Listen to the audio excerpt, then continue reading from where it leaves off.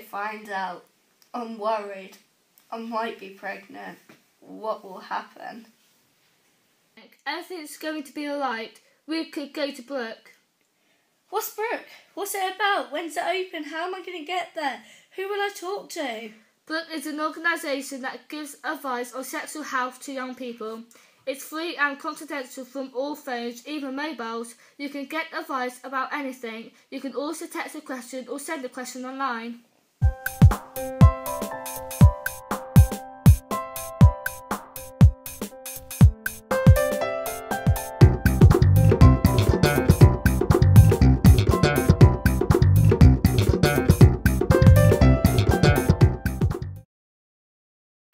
Hey, have you ever heard of Teenage Health Freak website?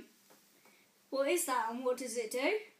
Teenage Health Freak is a website for young people to ask all sorts of questions about sexual health and relationships.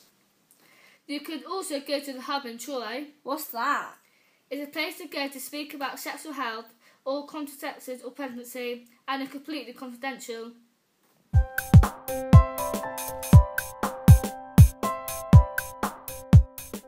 What is a C card? It's a card that age 13 plus can use to get free condoms. What does it look like? It is a pocket size card. On the front it is grey and says C card. Does it cost me anything? No, it's all free. Is it embarrassing? No, not really. Where can you find them?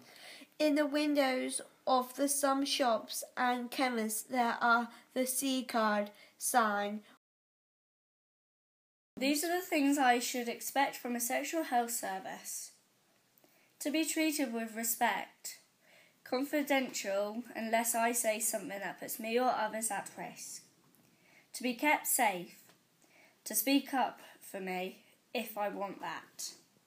Whatever your worry, Or question, Don't be afraid to ask. I don't want to go on my own. Who could go with me? I could take you, or how about going with a friend, a carer or relative, a school nurse, a teacher, or a youth worker? Okay, let's do it. If you're worried about sexual health, you're not alone. Online services like Brooks and Teenage Health Freak can give you quick advice or visit the hub in Truro Road to speak to someone face to face. and remember, condoms are free with C card.